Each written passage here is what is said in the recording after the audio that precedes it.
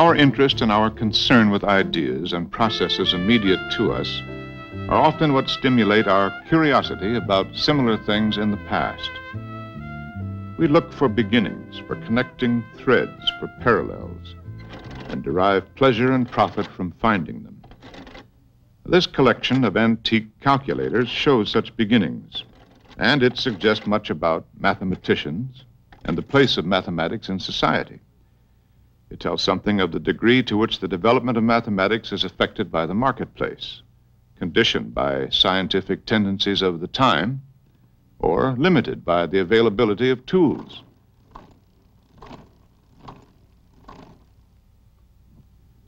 The collection illustrates something of the elusive relationship between priorities of need, the state of the engineers and toolmakers' arts, and the next step taken. Recently, IBM has put together a collection of artifacts, ideas, events, and memorabilia belonging to the six decades that led up to 1950 and the electronic computer.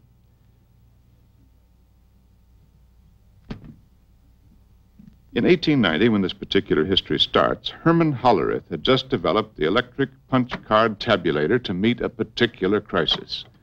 The national census was being threatened by the rising complications of interpreting the census data. At the same time, a comparable backlog of unprocessed quantitative information was building up in other fields social studies, scientific research, and in the world of business.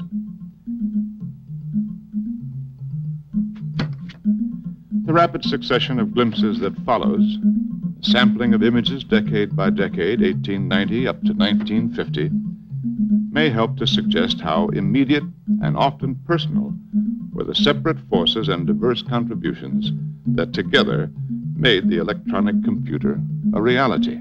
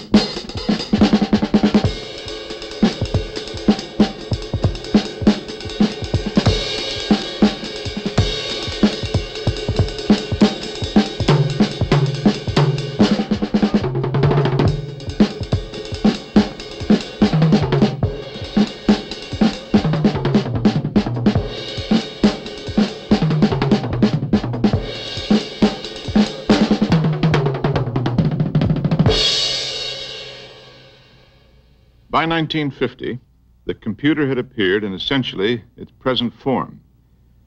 But even those closest to it underestimated what would follow.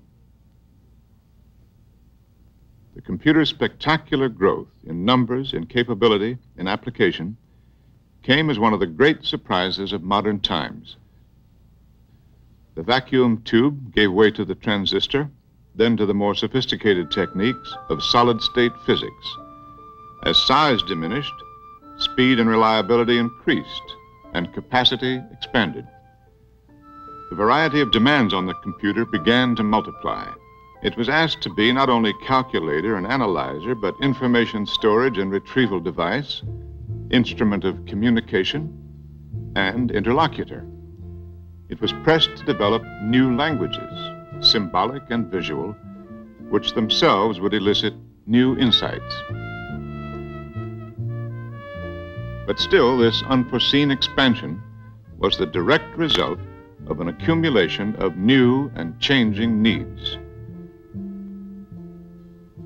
The direction of the computer's development has been determined from its beginnings by the combined influences of many people working on widely different problems in many fields. The quantity and variety of tasks to which the computer is put continue to grow. The specific demands of these tasks are still what shape the development of the information processing and problem solving art.